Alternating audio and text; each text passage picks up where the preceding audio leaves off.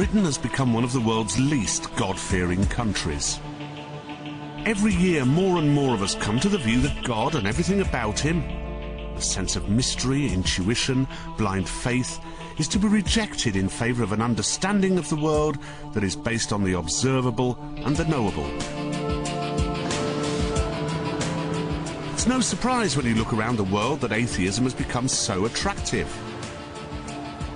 But at its worst, atheism can be every bit as intolerant as the most devout religious belief. I wonder if it really is the answer to our prayers.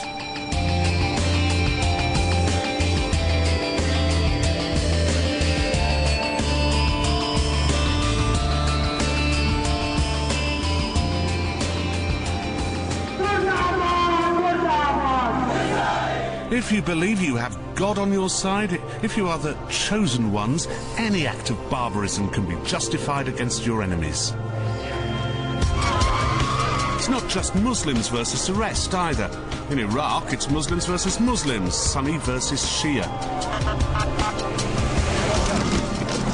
In Northern Ireland, Christian sectarianism is a partial justification for decades of violence. The Zionists of Israel believe they have a God-given right to occupy land Palestinians believe to be theirs. The reciprocal loathing between Jews and Muslims is yet another gift from God, of course.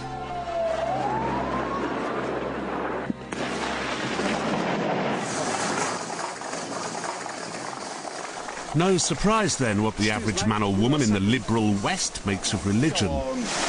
What do you think about religion? About religion? Yeah. I think religion causes a lot of problems, really. What, what religion's managed to do through history has been to the detriment of freedom and, you know, and I think it holds people back. What do you think about people who say that religion causes a lot of warfare and trouble? It most probably does. Why do you think that is? Well, because you've got one person believing in one thing and one person believing in something else. And they feel, you know, they're passionate about what they believe in. Yeah, I suppose most wars are caused by religion, aren't they? Yeah. Of which is perfectly understandable, I suppose, but is it religion per se which is to blame? Or that very stupid human craving for certainty and justification? On the toes of theology. Many atheists reckon it is religion, a belief in the supernatural. The time has come for people of reason to say enough is enough. Religious faith discourages independent thought, it's divisive, and it's dangerous. Richard Dawkins is a brilliant man, a wonderful writer and, lest these days we forget, a fairly decent scientist too. Of late he has become more renowned, though, as the man who hates God, forever waging war on religion and blaming it for much of the violence in the world. It could be Muslim imams issuing fatwas. I think that the crimes that are done in the name of religion really do follow from religious faith. I don't think anybody ever could or would say that with respect to atheism. And not just Dawkins either. It seems to be de rigueur for card-carrying atheists to say that people who believe in religion are simply conditioned. I do object to people being entrapped by religious belief. And I think that such But they're people not should be stupid. disabused. They're not stupid. Do you think they're more stupid than you are? Well, clearly not. Um, I think they are conditioned more than I am. Some atheists have become rather dogmatic, terribly certain in their conviction that there is no God and that anyone who thinks there is is a deluded and dangerous fool. And are they right? If we all became atheists tomorrow, would the world suddenly become a better place? I doubt it. Not least because atheists are becoming as intransigent about their own views as the people they so despise. Atheism is becoming a religion of its own. It already has its gurus and its revered sacred texts. We will be able to explain everything through science. It has its magnificent temples, within which lie mysteries and unknowable truths. Here is where we uncover the laws of physics, the origin of the universe and its evolution. But of course, atheism too has blood on its hands. The Soviet Union's atheist regime killed more than 20 million people.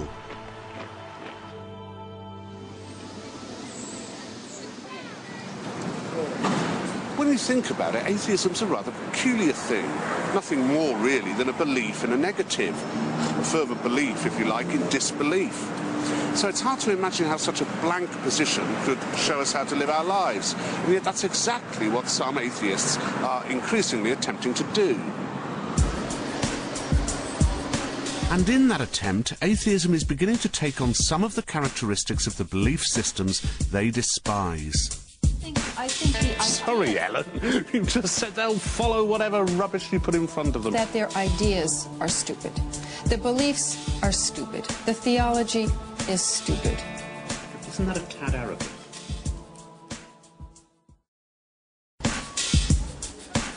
Heartland, USA. A place where the equally intransigent forces of Christianity and atheism square up to one another.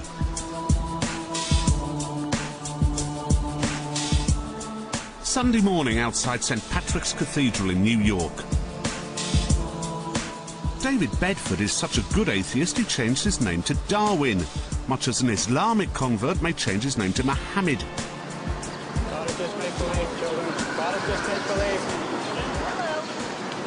Interested in reading something? Go home, she said. Hello. Read, sir? Who are you? Can I have one of your... I'm the atheist messiah. Are you really? Yes. How wonderful to meet you. Tell me a little about what you believe in, why you're, why you're here. What I believe in is, well, uh, my, I don't believe in any gods. And I think uh, believing in things that aren't true affects uh, people's uh, thinking and people's lives. Well, why can't you believe what you believe and let other people believe what they want? Uh, because what they believe is wrong. Yes, but don't, you- don't you think that's a tad arrogant? Uh, no. no. No. It's a good In- answer. In fact, I don't think that we should tolerate religion at all. It would be unfair, of course, to suggest that atheists are all of that variety. Uh, I think prevalence of religious belief, particularly in the heartland of America, is almost unquestioned. Uh, and in his way, he is doing something to make people question that belief, I suppose. Your pamphlet? You don't see me? Okay, pray for me. So, even atheism's rational way still breeds its own brand of bona fide loonies.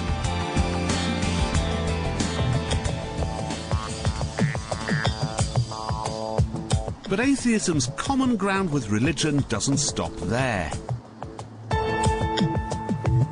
Devout believers can be contemptuous of the views of other religions.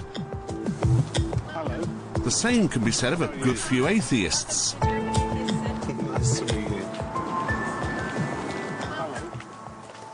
American Atheists was set up in 1963 with the laudable aim of safeguarding the civil rights of atheists. Welcome to my office. Its president, Ellen Johnson, shows me around. Thank you. Uh, this is our library, and if you want to come into the stacks, the best room is probably here because there's room. This is our history, so that years from now, the Christians can't rewrite atheist history. And what's interesting is that going back to the 1700s, religion was criticized. I, I just did a show on the viewpoint, reading from those books to show people, and this is their history, and it has to be preserved. Cold drinks, everybody, before we do. Ellen's invited me to appear on her TV show, The Atheist Viewpoint, which is transmitted on cable in 19 US states, as well as on the internet. It's uh, 25 minutes. That's fine. All right. Hello, everyone. Welcome back to the Atheist Viewpoint. My name is Ellen Johnson. I'm the president of American Atheists. My guest here today is the award winning journalist Rod Liddle. I rather liked Ellen. She was witty, clever, well read. But underneath, you've got that sulphurous whiff of the true believer. Because uh, it strikes me as odd that atheists should need an organisation to pledge the fact that they don't believe something.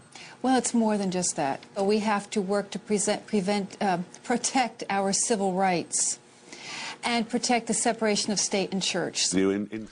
Ellen's fight for the separation of state and church seemed wholly commendable. The trouble is, she doesn't stop there. I mean, our nation, as you know, Rod, is one of the most religious nations Mm. on earth. They've got their they've got their little logo on our money. They've got their they've got their uh, their their pledge in our pledge that this is one nation under a God. When they get them there, It wasn't long before Alan's sensible, rational approach had descended into vilifying religious beliefs. The ordinary Christian will do, for the most part, what the they they will. They're not called followers for nothing. So do you think they're stupid? I would never ever attack someone, make an ad hominem attack against somebody. I think what the Sorry, ideas. Ellen. You just said they'll follow whatever rubbish you put in front of them. You want to be rude about it? That's being No, I don't rude about it. I'm trying to be polite about it. But what I will say is that their ideas are stupid.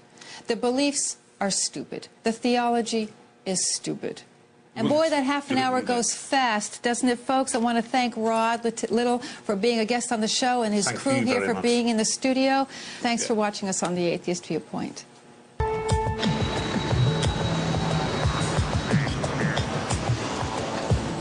What you get when you talk to some atheists about religion isn't simply a dispassionate argument about the facts.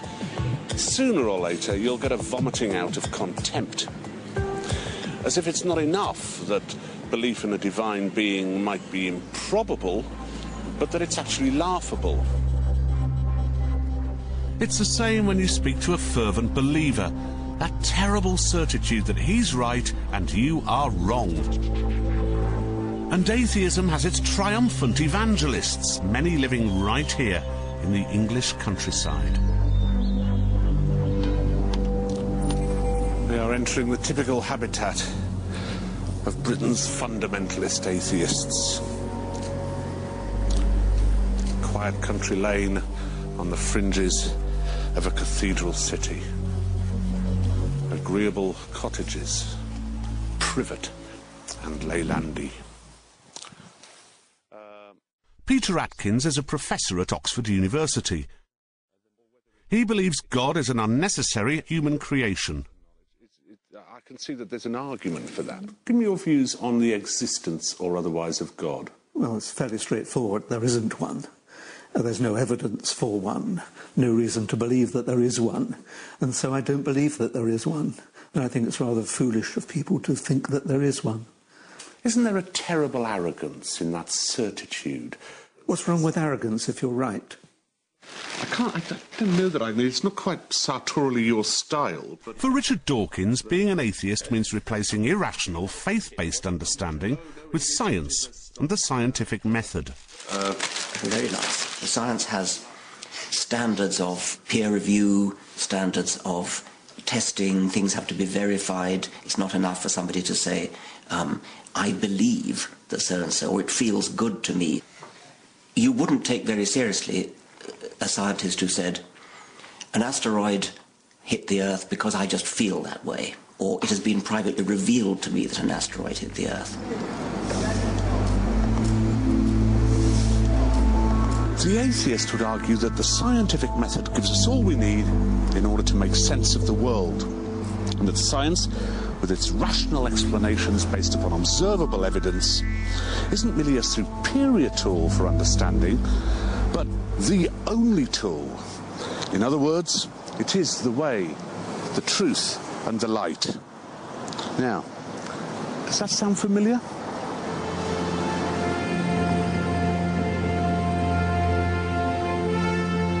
The problem for atheists is that science may not be as far away from religion as you might imagine.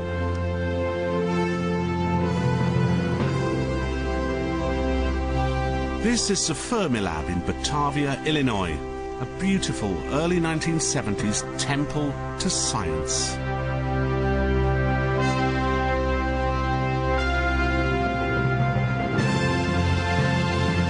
Its job is to tell us how the universe began, although, like the Latin or Greek of early religious texts, not in a language many would understand.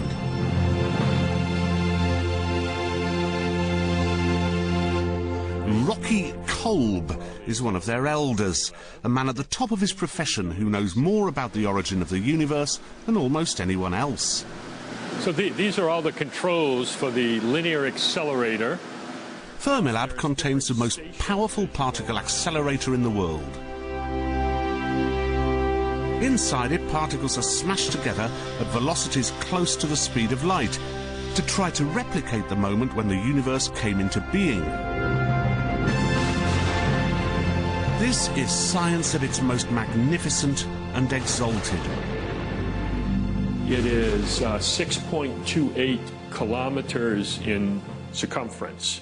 And matter and antimatter collide at two places around the ring. When they collide, they produce the same conditions we believe were present a millionth of a millionth of a second after the bang. After the bang. After the bang. And we recreate the conditions as close to the time of the bang as we can do. Using the results of When asked what happened after the Big Bang, Rocky could tell me down to the minutest detail.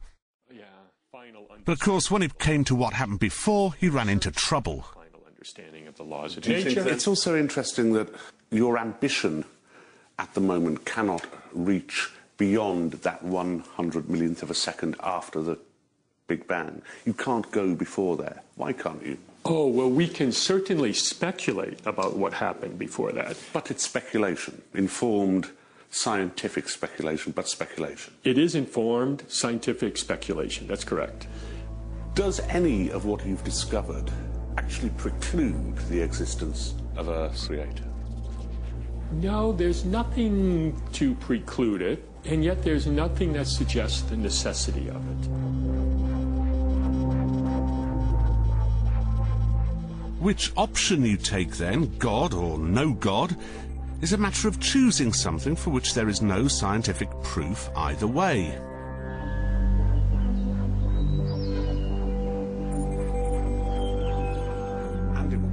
Sir John Polkinghorne is one of the great theoretical physicists of the 20th century.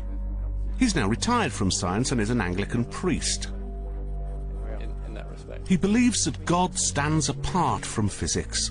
I don't think that God is scientifically knowable, or the non-existence of God would be scientifically knowable. I think that the character of the world is supportive of the idea that there is a divine mind and purpose behind it, but I don't think it, I don't think it can be amount to, to proof that that's so.